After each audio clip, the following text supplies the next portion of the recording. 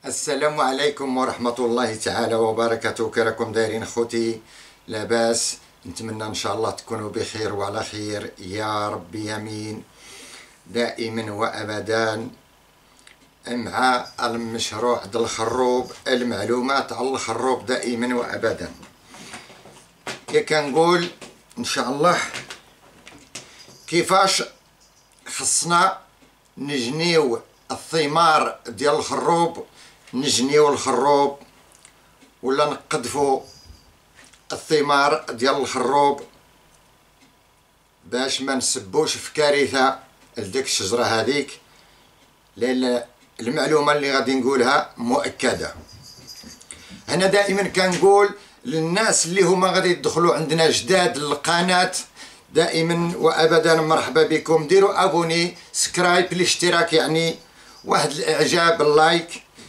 دقوا لنا الجرس باش دائما الا كاين الجديد يوصلكم إن شاء الله. الا كاين شي فيسبوك عندكم حطوا لنا هذا الفيديو عندكم نتمنى لكم الخير نتمنى كاع الناس تستافد.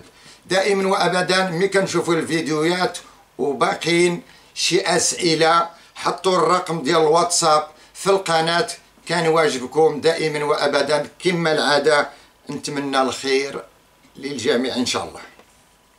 كي قلنا الخروب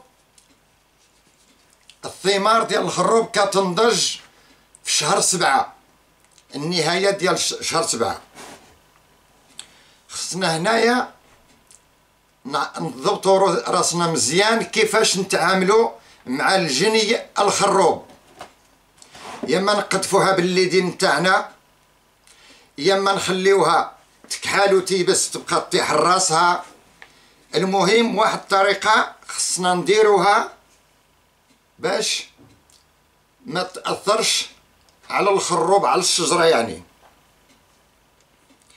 يعني كما كيديروا مثلا الدول الأوروبية بحال الإسبان بحال البرتغال بحال آه الطليان كيجنيوها بالطريقة ديال الآلة ولا كيجنيوها بالطريقة اليدوية بالليد نتاعهم غير بلاتي ولا كيخليوها تطيح ومن بعد كيجيو يجمعوا ذاك الحصاد. يعني هنا كاين شي ناس كيستعملوا واحد الطريقة الجني الخروب كيستعملوا الطريقة بحال اللي كيجنيو الزيتون.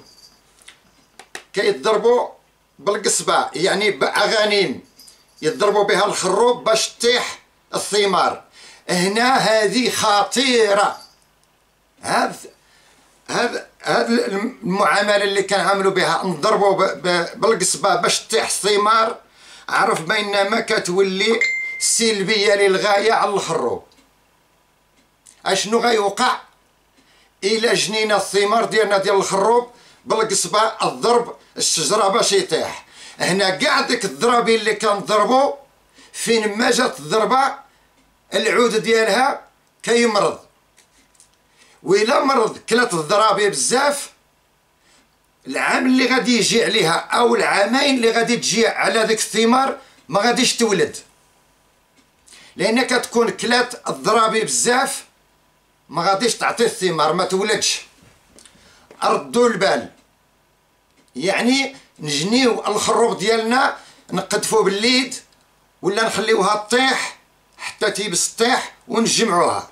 أما الضرب بالقصبة عرف بينما العام اللي غادي يجيها أو العامين اللي غادي يجي من بعد ما غاديش تولد لأن كلات الدقة كتكون مريضة العود ديالها يمرض ما يولدش. هذه الطريقة تجربة مئة في المئة وقعت عود وقعت وعطات هذه السلبية. ردوا البال. جنيو المحصول ديالكم. يدويا خليو القصبة tranquille. ما تضربوش لأن غادي تمرض الشتلة ما غاديش تعطي العام أو العامين الجاية ما تعطي بو الثمار هذا هو اللي بغيت نقول لكم. نتمنى لكم الخير إن شاء الله. صيفطوا الأصدقاء والصديقات يستافدوا كاع الناس. نتمنى لكم الخير ومرحبا بكم دائما وابدا ومع السلامة.